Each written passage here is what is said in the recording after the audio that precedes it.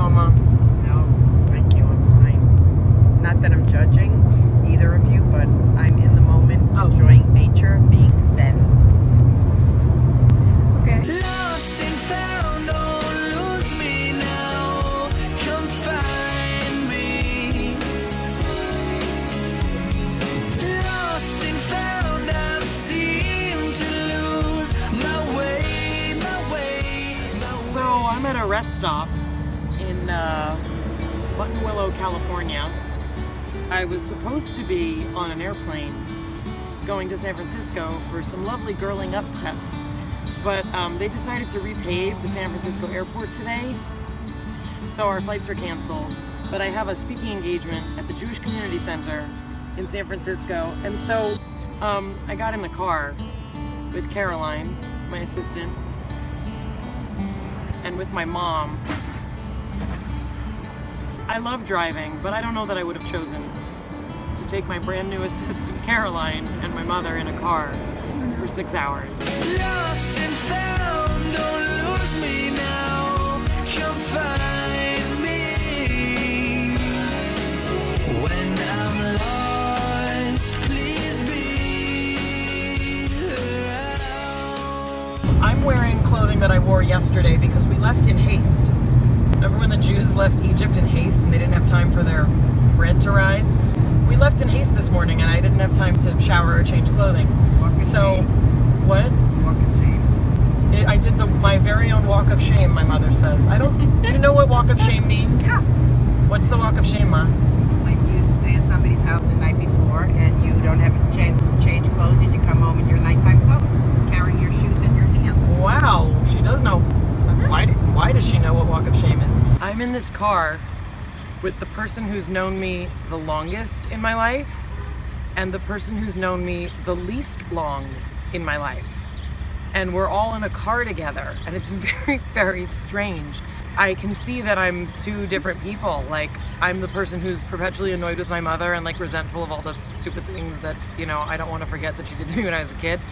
And then I really want to like impress this other person because she just met me and we're working together. When you strip away, you know, a lot of the things that you want to pretend you are, either to people who know you so well that you want to be different or know you not at all, so you want to be something new. I don't know, I feel like this road trip is like forcing me to be super honest and real.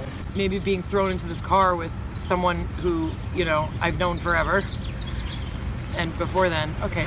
And she just came back from the bathroom. And then someone who I'm just getting to know.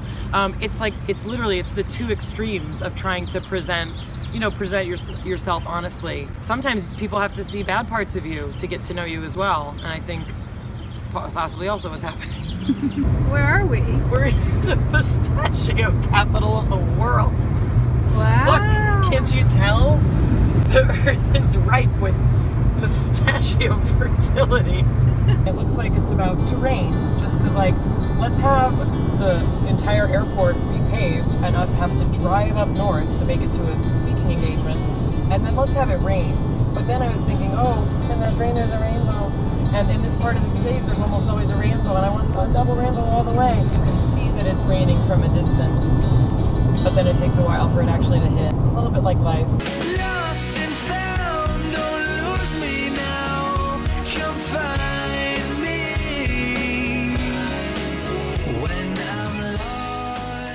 What I was thinking about as I was driving was how I kind of think about everything. A lot of people ask me like, how do you get so many things done? Or like, why does your brain work the way it does? I guess it's because I'm I'm always thinking. I can't stop thinking. Just in this last stretch of driving, I was thinking about like how unbelievable the clouds looked. It reminded me of like a like finger painting when when kids finger paint and they like drag the paint, you know, from the top of a page to a bottom. And then I was thinking, gosh, that's what I think it looks like because there's only so many things in the universe that we can understand. And so everything has to look like something else because there's just only so many repeating patterns that can happen. And then I was thinking about the cows that were being transported in this cattle transport car and just how sad that is and how I wish people wouldn't eat so many cows. And then I started listening to this song and I started thinking about how I want to feel the way I felt when this person who I love loved me. And I, I want that. I want that back. So we just drove into the bay. We made it. We will make it for tonight. I'm thinking of all the things we experienced in this car that we would not have experienced had we flown. I have no proof that there's some power in the universe that wanted us to drive instead of fly. But we saw a lot of really pretty things and and it was hectic and it's stressful. But like now we're in a beautiful place and we got to see all the scenery on the way. So, you know, when life gives you lemons, get in the car, drive. Lost and found oh.